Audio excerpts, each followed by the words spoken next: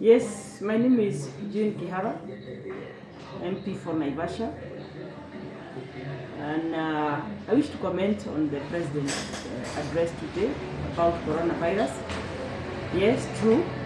We have seen as a country this is getting out of hand and it should be everybody's responsibility to take care of yourself, take care of others.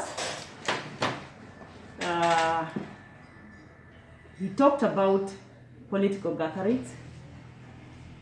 I really hope that uh, the system or the government is strict on this because we have seen it before, where some are being punished, others are allowed to hold those meetings.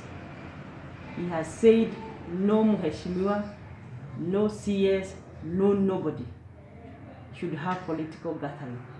And I hope this is adhered to. Because he has said it before and we have seen it being broken by his own ministers going to congregate.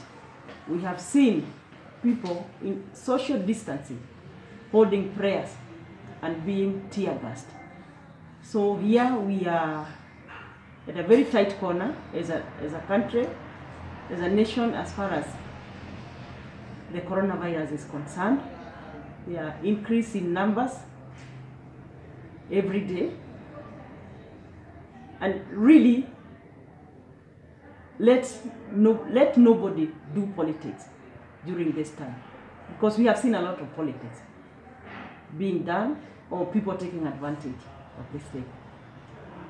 So as for the nation, it is up to ourselves. Because he didn't close he, the, the country, there is no lockdown. But what is it for us?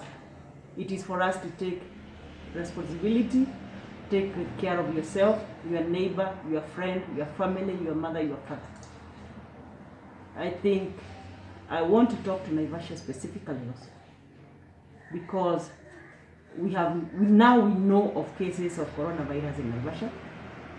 We have got statistics. This is not going to be a joke. We have seen developed countries closing down, opening and closing because it's a serious, serious pandemic. So Naivasha people, I beg you, let us keep the health rules to sustain ourselves and our families.